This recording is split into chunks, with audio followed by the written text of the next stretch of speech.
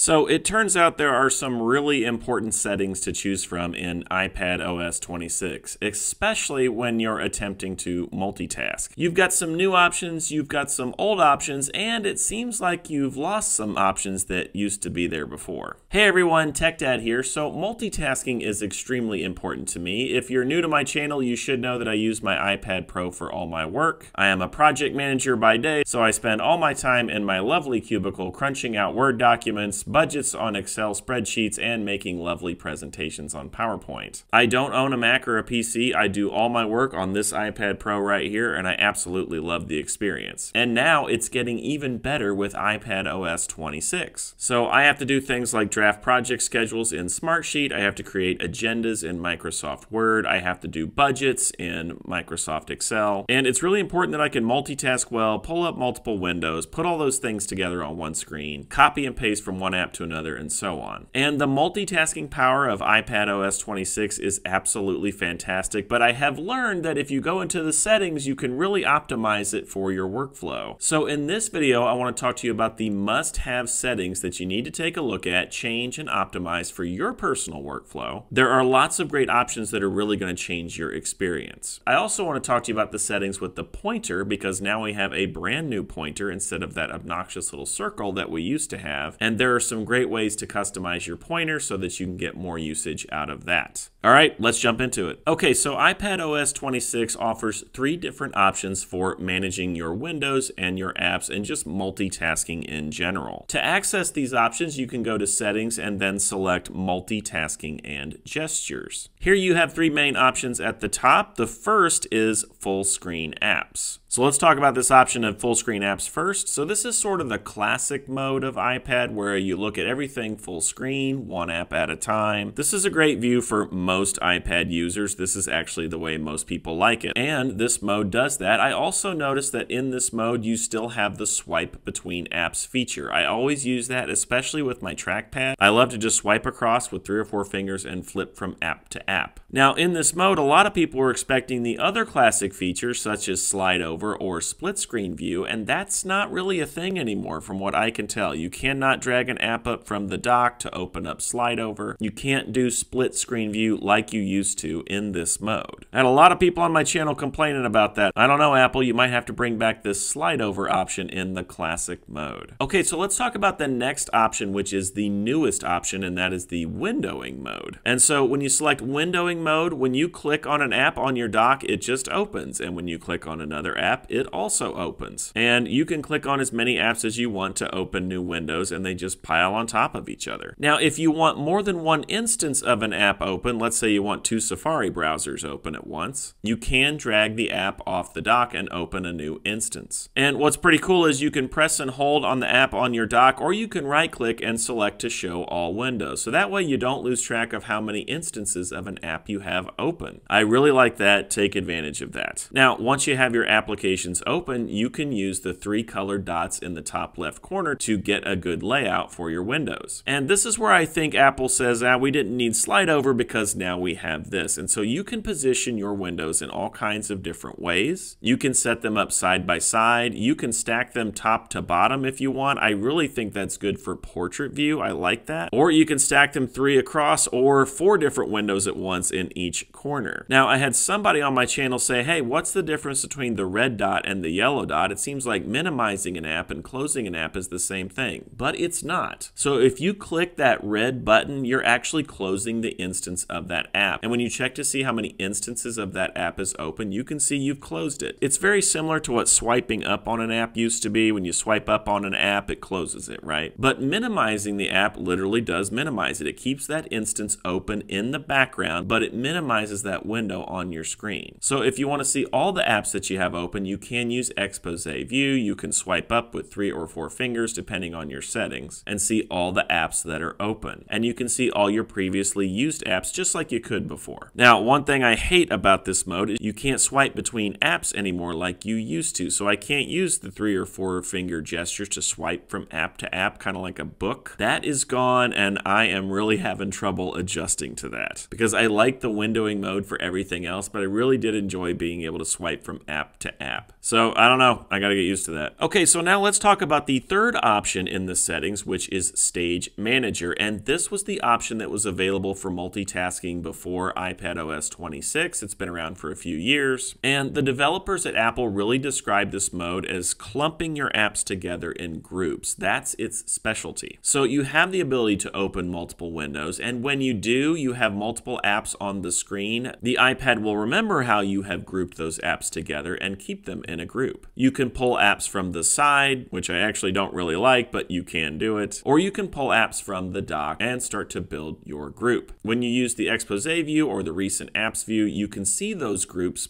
together. A lot of us like a workflow where we can put our apps together and just keep those all together while we work. And I did get used to this as I've been using my iPad as my only computer for a year now. It was nice clumping apps together, and I'm also getting used to not having that feature when I work in windowing mode. So it really comes down to preference. You've got three choices here. They're all pretty good. They all have their strengths and weaknesses. Okay, so that's multitasking. Let's talk about the pointer and the settings options you have for that. So you can find find your pointer options by going to settings and going to accessibility and finding pointer control. And in this, I love the new features that they have. So first of all, you can change the pointer size. That was long overdue. It's so nice that you can actually change the size of the cursor. It's really cool. I like this in particular because I am a project manager. I run a lot of Teams meetings and people need to see my cursor so they can see what I'm talking about when I'm sharing screen. So if I'm walking through a website or a presentation, they can see my cursor now. You can also increase the contrast. So it starts out pretty translucent, but you can deepen that dark color so you can really see the cursor better. I also like where you can make it so it doesn't disappear on you. So if you're inactive, the cursor will disappear. Well, you can turn that feature off. The next thing you can do is actually put a color around your cursor. And I've seen people do this even on Windows computers where they change the color of their cursor so it stands out even more. Again, this is great when you're sharing your screen and you are presenting. So there are a few different color options, blue, red, and so on. You can play around with those and you can thicken the border of the color so you can really make it stand out. All right, so those are some of my favorite settings that I think you should play around with when you're messing around with iPad OS 26. These are great new options, especially when you're a multitasker and you're trying to use your iPad as your main computer. They've really come a long way with this. Apple did a great job with this release. I love it so far. It's also been really good with my secondary display. So I've been using my Apple Studio display and I really love the windowing on iPad OS 26. It's got a great flow. It's easy to open lots of windows on my big 27 inch display. You really need to take advantage of a secondary display when you're using iPad OS 26. You all have asked a ton of questions on my channel and I'm trying to get through those comments, but let me know if you have further questions. You can leave a comment below. I'll try to get to that. That's all I got for you today. If you like this sort of content, please like and subscribe and we'll see you next time.